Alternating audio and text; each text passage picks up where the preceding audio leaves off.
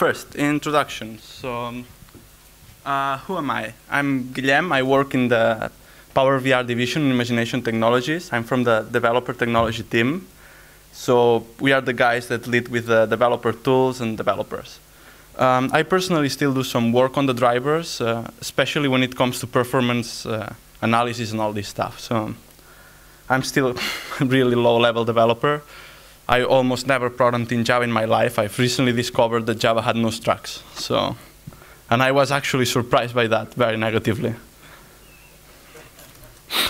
So marketing tells me to put this slide here so you all know whose imagination technology is.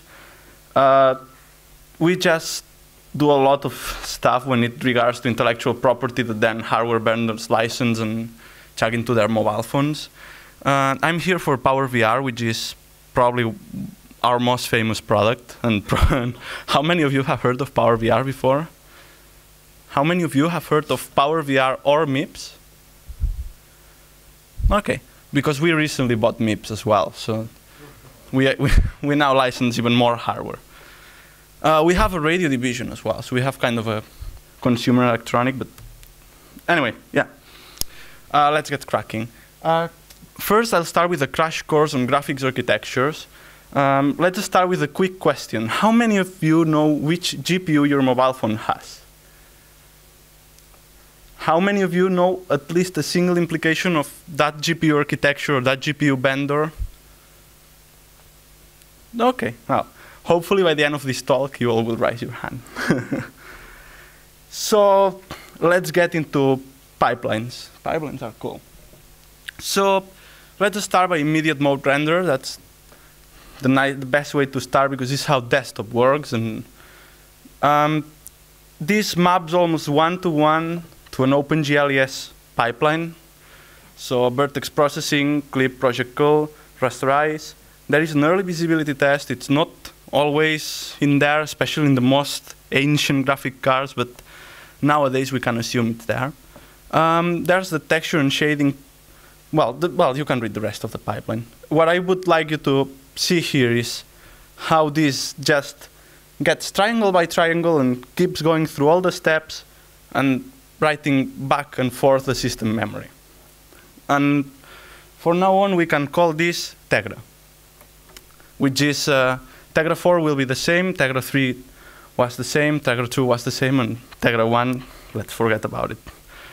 Um, let's introduce now a concept which is very famous in the mobile space. It's tiling. Um, it's basically applying a divide and conquer algorithm to mobile graphics.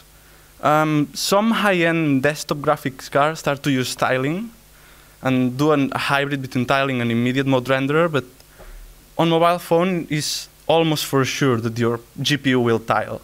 So Adreno tiles, Mali tiles, obviously PowerVR tiles.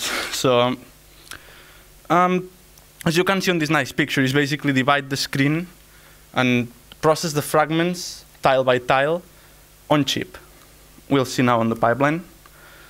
This is more complex, but it's kind of the same at the beginning. So we got the whole scene, we split it into tiles, and then the second part of the screen. So after the, the that orange primitive list and vertex data, which is called parameter buffer, I'll introduce him later. Um, the rest is run on a per tile basis. So by doing that, we utilize a lot the on-chip memory. And then we save a lot of um, memory system access, which, as you know, in mobile phones nowadays is shared. So you don't want to hammer the system memory, basically. Um, this guy can be uh, known as Mali or Adreno. Uh, well, Adreno is a bit of a hybrid as well, but we can call him Adreno as well. Um, so that's it, is it clear the first three steps are done with the whole scene and the rest are done per tile. There is an extra step here, which is the tiling. So there is an overhead on tiling, which is the tiling step. is when we store all the tile data into a buffer that then later on will be used in order to fully optimize and be able to actually perform the fragment shaders on, on tile, on chip. So let's move. Now let's introduce a new concept, which is the fair rendering. This is kind of a bit of a lie. So this is what marketing marketing says that we are the fair renderers and we are the only ones. That's definitely not true. I mean, but they couldn't find a better name for it. The real defer rendering means that you send the OpenGL commands and they get executed when the hardware thinks that it's best to execute them. Uh, but th that's done by all the architectures in order to optimize. Maybe Tegra doesn't do that or doesn't do it that often, but uh, Mali or Dan PowerVR certainly are deferred renderers. So you do a GL draw and nothing will be drawn. Not a single, the hardware will not even move a single finger until you do an EGL swap buffers or flash the render target or do an EGL read pixels. So everything gets piped. Um, but well, we call defer rendering to an extra step that PowerVR hardware has, which is what makes us unique, which is this HSR. So we kind of in a smart way um, works a bit of a ray tracing, cannot give details because the AP is secret. So we basically just remove all the pixels that you cannot see and we don't do any kind of processing for that pixels. This means that you can send the, the geometry in the order that you wish, that, that we don't care for that. That's the big advantage of our architecture, but please don't do that, because otherwise your application will suck on other devices and you don't want that. So, but well, you could do it, and I mean, sometimes it's, I mean, you can speak with guys from Unity or Epic or whatever game engine you want to use. It's not trivial to simply sort all the objects so it's friendly with all the architectures. I mean, you have to deal that it will always not happen, and in this case, we will take a lot of advantage from it. Again, submit the, object, the objects in order, please. So this is our pipeline. Um, you can consider this pipeline the same as a tile-based with that extra step that is that HSR. This HSR, what basically does is know ahead of time which fragments are visible and thus should be processed. So we can prefetch the texture data ahead of time, or we can just simply not use it. So there is even less system memory used. It's basically this one and two, so it's kind of where the magic happens. Um, basically, you can think on this as a more efficient way of processing the fragments because we simply don't process the fragments that are redundant. Um, as you will see on this talk, by the way, all the optimizations that I speak for tilers will work on the three tiler architectures the same, so should be fine.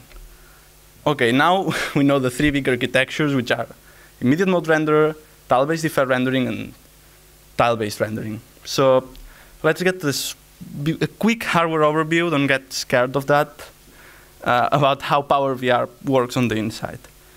This is just a quick summary. So the application submits the render, the driver submits the geometry, our driver here is like doesn't do anything. So if you get the timing stat stats from our driver, it's nothing. Just getting what the application, OpenGL 2 or 1 application sent, or 3 sends, and just puts it on a nice way so the hardware can read the system memory and start working with it. But the driver doesn't do anything. So if you put the timestamp on the beginning of the GL draw call and on the end, you would see the fastest GL draw calls in the world because the driver doesn't really do anything. Um, when we see the ALU step, that's um, our universal scalable shading engine, which processes everything you throw at it. Um, so do all the other tilers. That's the difference. For example, NVIDIA has dedicated non-unified uh, ALUs, which I will introduce you in a second.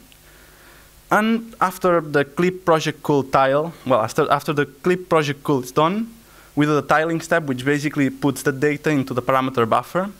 It sorts the data starting by the position, well, how the driver guys want it optimized. So the hardware guys tells us to sort the data in a way, and we definitely do that during the tiling step.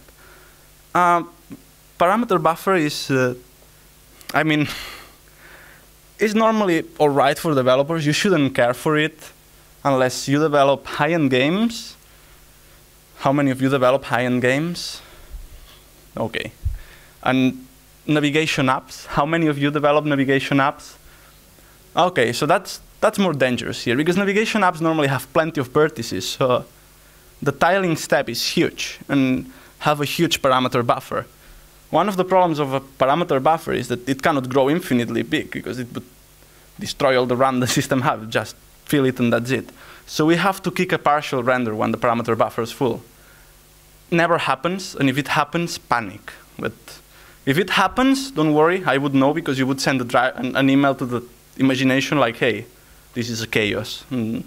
So don't worry, it never happens, and if it happens, normally you email us and we help you it not happening. So it should be fine. With the latest drivers, by the way, you can set the size of the parameter buffer, so it should be more under control, but just assume it doesn't happen. So once we got all the tiles prepared and all the data is already waiting for us, we just need to do the tile. So this step, which is the fragment processing, is done per tile.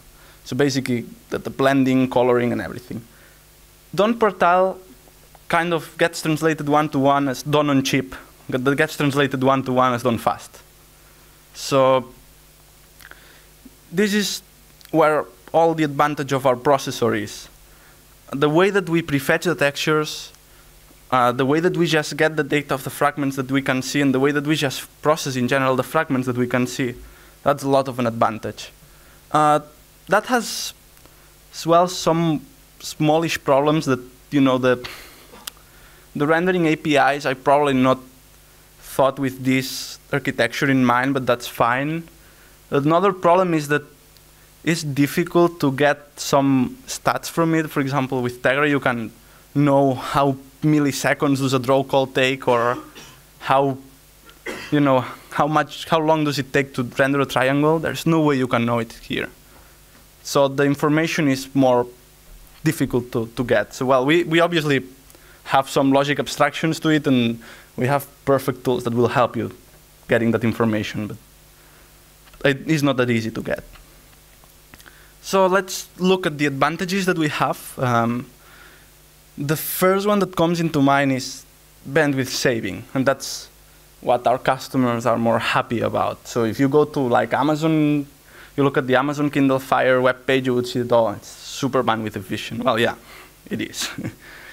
so, well, this is maybe a bit of an exaggeration with the width of the arrows on the poor immediate mode renderer, but still the, the idea kind of remind, remains the same. We save bandwidth. So that's a problem for other vendors, but not for us. This has as well other implications that we'll see in the next three, four slides. So unified architecture, and that's, that's a nice one. We don't have separate vertex and fragment processors. Everything is processed on the USSE, which is our universal shader, whatever, scalable engine. USSE from now on. So Tegra does have uh, dedicated shader processing modules, which leads to some nice things that if you want to optimize a game for Tegra, they tell you, oh, put vertex, put vertex data, just put more polygons, it's free, it's for free. Well, because in their hardware, the vertex processor is idle, like 70% of the time. so they tell you to put more triangles and then problem happens on all the other architectures that that's not true.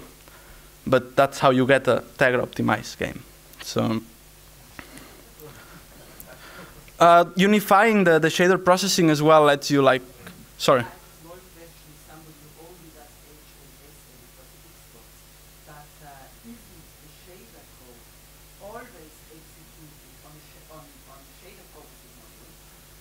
Uh, well, yeah, mm.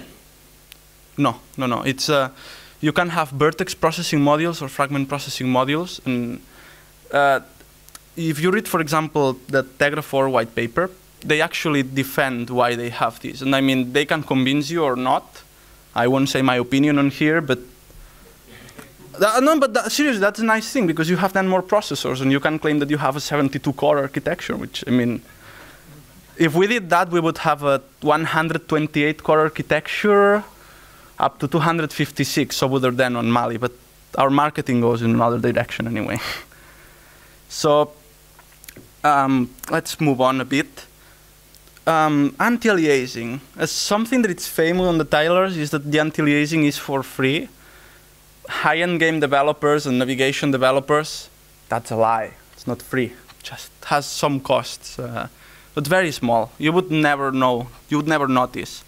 On a, you know, on the highest end game you can imagine would be a 15%. So for the rest of developers, we say anti-aliasing on a tiling, on a tiler like a Mali or a PowerVR, especially on a PowerVR, that's why I'm here to tell you about, it's free. And on the Series 6, it would be even more free because it would be even better, which is 8x MSAA. Series 5 and 5XT has 4x MSAA, and it's done on chip. So you can just use that extension, which is render to multi-sample texture, and that gives you MSAA for free. So please use it. it I mean, it's free. Uh, as mentioned here, we actually optimized uh, Skia quite a bit by using this extension because they were doing it by software, like blending plenty of triangles around the primitive edges, which, I mean, was how it's done on desktop, but not on mobile. Again, done on chip, almost free. That's um, something that I want. Ah, no, it's the next slide. So, microkernel. That's a fancy name, but it's basically a very, very, very small operating system, firmware, let's call it, that runs on the chip. Why do we do that? Because otherwise the interruptions would kill the kernel. There are so many interruptions in the GPU that if we had to listen to all of them, we would be more time processing interruptions that we wouldn't care about than processing graphics. So Series 5 marketing would kill me. This was a a bit of a hack. So we kind of have the operating system running on the USSE cores. Series 6 has its own core, which is much cooler that way. Um, have some implications, and is that, for example, we cannot communicate with the GPU at all. So there is no communication between driver and GPU. Everything goes to memory, and the GPU reads from that memory and puts data to memory again. But there is no direct communication CPU GPU. Just a small interruption, interruption to be sure that it's not dead.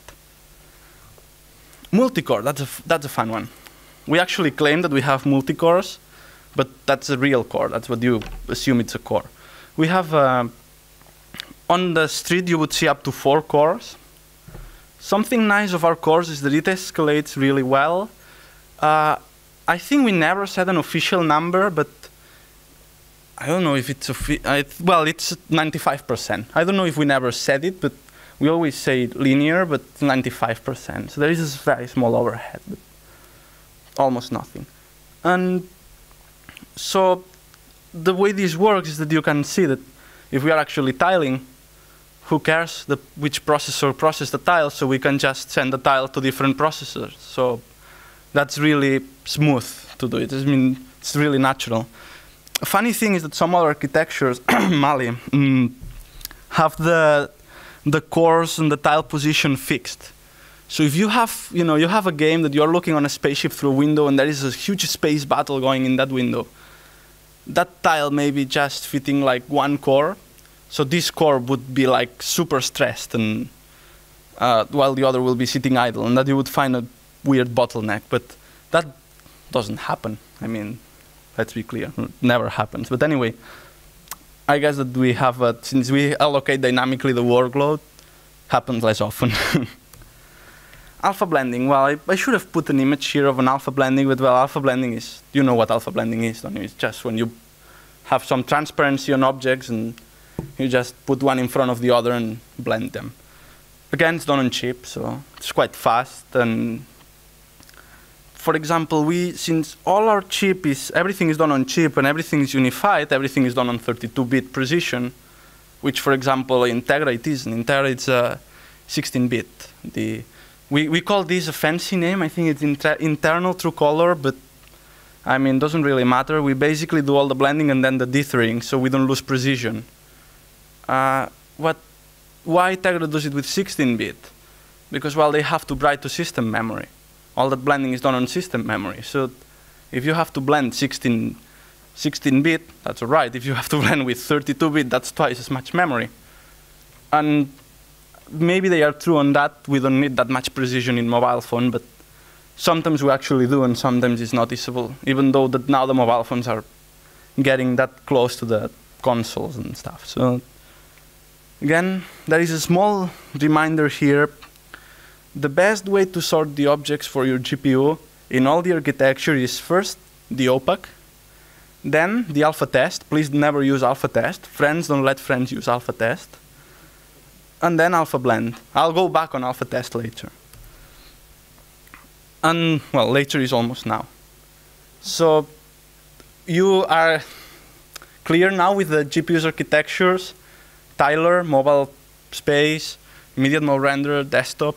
Immediate mode render is really good when you have dedicated memory on your GPU, like in desktop, that you have an ATI car with like two gigs of GDDR5, so you can really do whatever you want there. As soon as you are sharing memory, you want tiler because everything is done on chip, so the memory doesn't get bashed that much. To be a bit more fair with immediate mode renders, there is, they have cache as well. If you read the, some white papers from some green company, they would tell you that the cache is up to 80% of the red brights. I guess that if you have some corner cases, that'd be true. But I wouldn't bet money on it, really. So before starting with the golden rules, let's see what will be your common bottlenecks on application. So that's based on, on our experience on the emails that we receive asking for help. So basically CPU usage, like some calculations done on floating point on a mobile phone that doesn't have a floating point unit. Uh, you know, well, Android is based on Java, so we are, let's not go into efficiency here. I mean, it's running a virtual machine, it has some cost. Then there is the bandwidth usage. Uh, the bandwidth can heavily hit our architecture as well, especially with the golden rules I will introduce you later that you can just be really like updating plenty of data. So CPU GPU synchronization, this means that when the CPU access some GPU data, some render target or something that is being used by the GPU, since our GPU is deferred, that we are three frames, so the GL calls are three frames in advance of what the GPU is doing, then you have to ghost, which means copy data. That doesn't happen on NVIDIA, for example. So I'm, it's likely that the legacy applications that come from desktop work much better on an, on an NVIDIA car, especially if you deal with glyphs and text and something like that, that you normally use texture as a cache and keep updating it. We'll go back to it later. The, the other way, the other bottleneck is the fragment shader operations because there are more fragment shaders than anything else on the game. Normally, it's all lightning, blending, all the effects are done on a fragment shader, basically. The rest, I mean, the rest are very marginal, so it doesn't happen the, the usual. So, oh, I put this slide here. That's, I mean, these rules are obvious. It's like, welcome back to first year of, year of uni. Some of these may seem obvious, some of those doesn't. But yeah, I mean, understand your target device. But that's a bit tricky one. So we don't name it here because I think we don't name any device, but I mean, that marketing doesn't do it doesn't mean that I cannot do it. So uh, not all the phones are the same, even though they may have the same name. For example, Galaxy S2 has a Mali device, a Tegra device, and a PowerVR device. And I mean, it's seriously, it's crazy. It's Galaxy S4 has the PowerVR device and an Adreno device. And same goes with plenty of other devices that have two versions. So sometimes it's good to query the GL rendering string to be able to know which GPU vendor you are on, especially for some optimizations that may completely not work in some architectures and really work well in others. So golden rule number two. This one is an easy one. Don't waste GPU time. I mean, it's a mobile phone. You are not playing on a projector, not for now. So you can see the three ships are quite well looking, three of them. So, well, it's what says on the slide. Don't waste GPU time. This one is a bit more tricky. Promoting calculations up the chain, and especially with CDs, if you try to hack some GP GPU using OpenGL ES2 shaders. So, I mean, as less you do a, an operation, as more optimal will it be, and that's clear. So if you have to calculate the refraction index, you can put, a, for example, instead of calculating the Fresnel, you can just put 0.5 and kind of will look nice, the reflection refraction index, that's all right. You can do the calculation. And there is other ways. It's like you can pre-bake it. So you can put the numbers on a texture and send that texture. And then from the fragment shader, well, you read the texture, instead of reading RGB, you would be reading the result of an operation. So you would not have to do the maths in there, just read from a texture that you would have on the cache.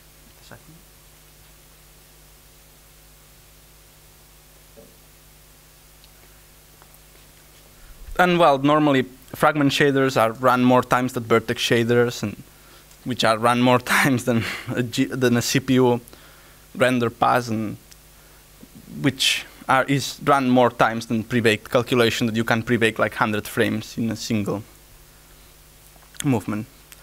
Anyway, good enough is a good, uh, good thing to remember here. So sometimes we would do lightning equations that would not make a real difference. So uh, this one is the important one. Don't access an active render target. So we work three frames in advance on OpenGL. This is just applies to tilers. So if you access a render target that is being used at that time, we will ghost. And ghosting is bad, it's very bad. It means that since the, the texture is being used, we cannot write into it. So the driver says, oh, but they are writing into it, so let's copy it. The driver makes a copy. And suddenly you you're like, you are using a huge amount of memory. And this happens especially with uh, navigation apps when a company from Germany decides to open market in China and goes like, okay, let's cache the text in the big textures we do here. well, Chinese has much more characters, so you would have to update that texture and use it as a cache, and suddenly you would have a 4K by 4K texture that is being replicated 16 times in your memory, and that's bad. So what we recommend is to first don't, don't use a 4K by 4K texture. I mean, if you are just updating small parts of it, but we usually just have a circular buffer of textures that we upload.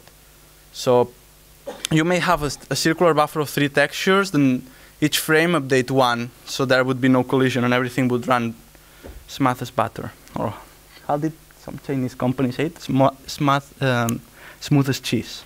Still don't understand it. So don't access render targets, and that means that that's as well a vertex buffer. So if you have.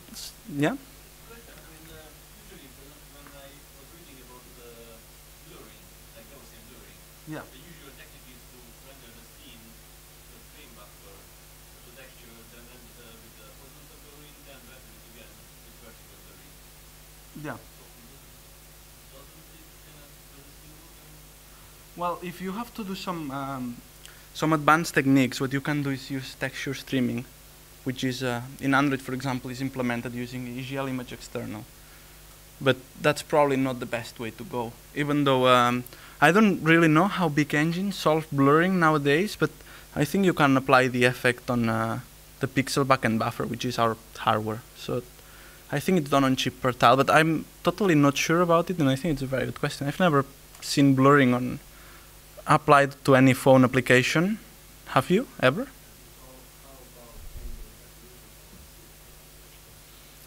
Well, all these. Uh, I mean, some of these effects are done by the by the chip by the chip itself. Um, which one you which one you said? Ambient occlusion.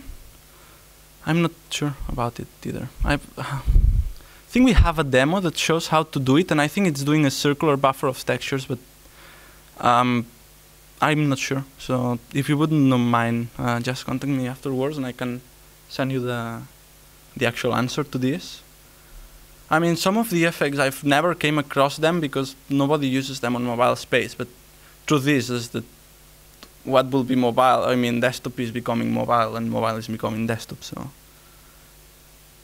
a good example here can be the cloth simulation as well. So, if you have a cloth, simu cloth simulation that it's and you're accessing always the same vertex buffer. Not, let's just not speak about textures, but something different. You're accessing the same vertex buffer and changing the vertex position to simulate that cloth. That may be ghosting that vertex buffer plenty of times, and you don't want that really. Because maybe the case that the driver, instead of ghosting for memory restriction, decides to stall the pipeline, so then you would be running a painful FPS, which you definitely don't want that. Well, this is kind of uh, speaking about texture streaming and how to use some synchronization so there is a, there is some extensions that allows you to know when a texture is not being used anymore by the GPU, and it's good to to update.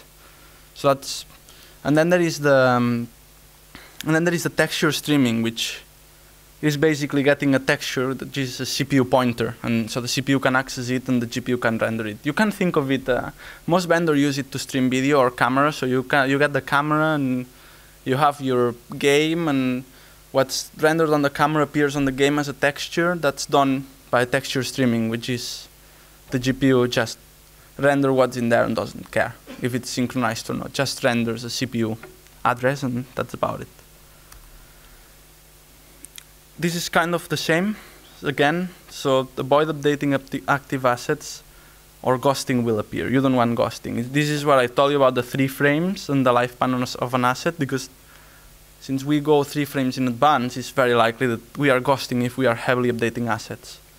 Which I mean is not that normal and it can be easily optimized, but may happen when you less expect it, like when you move your navigation application to China. Uh, using vertex buffer objects and, and, index geometry, that's I mean that's kind of a regular one. I mean, if you don't need to send the vertices every frame to the or at every GL call, you can create a vertex object and just store it on the GPU. It's not likely that you are going to change your character every time. I mean, your character would be looking in a single way, and unless you change the armor, then it may look different, but doesn't need to be sent every time to the GPU. Yeah? You want to do? Scalar animation. Ah, okay. Well, but still the vertex would be the same, wouldn't it?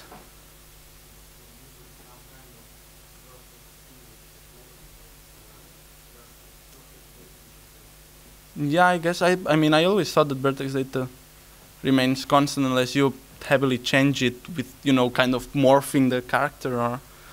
I mean, if you have a mesh, should be. Should. Yeah, exactly. Should be always. I mean, if you morph, yeah, sure. I mean, the same name says it. And using index buffers and vertex buffers as well has a, an added advantage here, and is that our driver I mean, we have a bunch of driver guys and they are paid to optimize, so they optimize vertex and index buffers in order that the GPU can get them faster. So they store the position first, so then the GPU and the HSR step can get that data first and process it fast. And as far as I know, our driver internally just uses index buffer. So if you don't, our driver will create it, but please do it. So the less things you let the driver do, the better. golden rule number seven. I mean, this golden rule is a bit confusing how it's set here, but it's basically change the render state as less times as possible. Every time that you do, that you, that you do a GL call, you're changing the render state. You don't want to change it. I mean, change it as less as possible. The less GL calls, the better. Sounds kind of redundant, but it's not. So batch the draw calls. If, if you are updating a texture 100 times on a frame, but you just do a draw call, it will get optimized by the driver because we are defer render. So we will get all the GL commands, all the texture updates. We would get a staging buffer, and so it will get just updated once. If you put plenty of drawing calls, may not get optimized, even though there is an, even though there is no EGL swap buffer in between. So the less render state changes, the better, and that's for that's for all the architectures as well. Golden rule number eight. Compress your textures. That's a cool one. I mean, you can use either 2 bits per pixel or 32 bits per pixel. What do you think is better? Okay. Uh, you may you may argue that 2 bits per pixel is the quality is not the same. I, I totally agree. I think that this image yeah, kind of shows that the quality is really close to it. I mean, you can look at Epic Citadel or Rage on iOS. All of them are 2 bits per pixel and I mean, this is our technology. it's been there for ages, and now ARM will come up with the ASTC, which I think it's quite good as well. So, it, but they still, I think that there is still no uh, other device that is capable of two bits per pixel as of right now. So, compressed textures, and by compressing, we don't mean um, disk space. We mean memory because PNG and JPG get decompressed in memory with the full size of the texture you can do both. So you can compress with PVRTC and then zip them, so it will get less disk and less, less memory space. But I mean, sometimes it's not worth to compress textures, but just when you compress them on device. So what big games do is have all the assets, and when you launch your game, downloads all the assets for your device from the Play Store, and that's all right. That's with all the textures already compressed. And golden rule number nine never use alpha test or discard or use alpha blend. So this applies to all the architectures. Using alpha test is completely breaking the pipeline. And let me show you why. Let's go back. Oh, it's a bit painful to go back all that. So what happens, well, no, even uh, this one is better. So what happens if you run a fragment shader in the ALU part and there is an alpha test and tells you, oh, no, this object, that was not there. So the objects that were behind it are visible now. Well, happens that you have to go on the beginning of the pipeline again for that object and the ones that were before. So that's like breaking the pipeline pretty bad. You don't want to do it. Uh, it's arguable that the quality would be the same. I, oops, sorry. I actually think it will be almost the same. Again, Epic Citadel. Epic Citadel is done with just alpha blending. And unless you spend all the entire demo staring at the trees, you won't notice a difference. Just don't stare at the trees that often. I mean, trees are nice, but I mean, it's worth. And again, there is the reminder of opaque, alpha test, alpha blend. I mean, if you have to use alpha test, use it after opaque. So then the pipeline won't be hurt that much. Still would be hurt, and there are some optimizations, but please don't do it. Just think, think twice before doing it. And rule number 10, that's uh, that rule number 10. I mean, you program for all the devices, so calling clear not just ensures that the previous render isn't uploaded to the GPU, it ensures as well that it won't work fine on a Tegra device because it will flash the memory and have to reload it again. So um, if you develop for Tegra, you don't call clear. And likely if you call clear, the driver will ignore it. Same way we will ignore some other calls. I mean, it's so take it. I mean, obviously, I'm here to, to help you optimizing for PowerVR. So yeah, sure, call clear. But um, it's a bit. You probably don't want to lose the huge amount of performance on any other platform, thanks to me. Otherwise, I just receive. I don't know. I just don't want to know. Um, same goes for discard uh, frame buffer. We don't need that. We, I mean, the, our frame buffer is kept on hardware, so we don't need to keep a copy of it in software. Uh, some of the hardware vendors we have, since we give the driver as a reference, and they just get it and do whatever they want, and some of them disable calls, which fair enough, or force you to do calls. So they put a clear and a discard frame buffer, and that's about it. But so just be aware that these calls exist and they have some importance on the hardware you're running, especially. Just remember, clear on Tegra is really, really expensive, so. Mm, yeah, it's on a PowerVR slide. Doesn't mean that you have to always do it. But don't tell to marketing. I told you that though.